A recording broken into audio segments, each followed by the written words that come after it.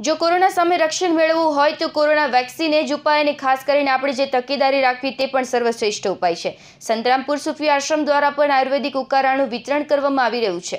દેશભરમાં ચાલી રહેલી કોરોના મહામારીના કારણે સમગ્ર દેશભરમાં લોકો આ બીમારીમાં સપડાઈ ચૂક્યા હોય. મહીસાગર જિલ્લામાં આવેલા સંતરામપુર નગરમાં પણ કોરોનાના આંકડા દિન પ્રતિદિન વધતા જઈ રહ્યા છે. સંતરામપુરના સુફી આશ્રમના અનુયાયીઓ દ્વારા આયુર્વેદિક ઉકાળો તૈયાર કરીને નગરના વિવિધ વિસ્તારોમાં પ્રજાને લાભદાયી થાય તેવા હેતુસર ઉકાળા વિતરણ કરાયું.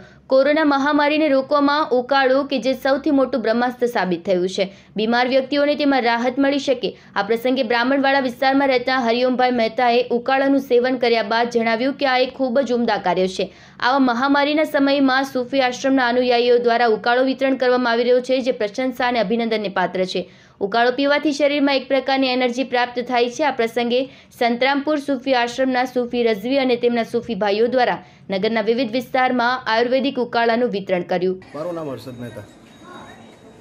આજરોજ સંતરામપુરના સુફી આશ્રમના અનુયાયીઓ દ્વારા જે સતત આ કોરોનાનો વ્યાપ વધી રહ્યો હોય, સંતરામપુર સૂફી આશ્રમના સંતો અને અનુયાયીઓ દ્વારા આજે એક આયુર્વેદિક ઉકાળાનું વિતરણ કરવામાં આવ્યું, જે ખરેખર લાભદાયક છે.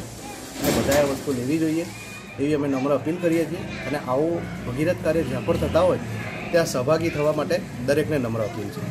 Vijay Joshi, Zee TV news Mahisagar.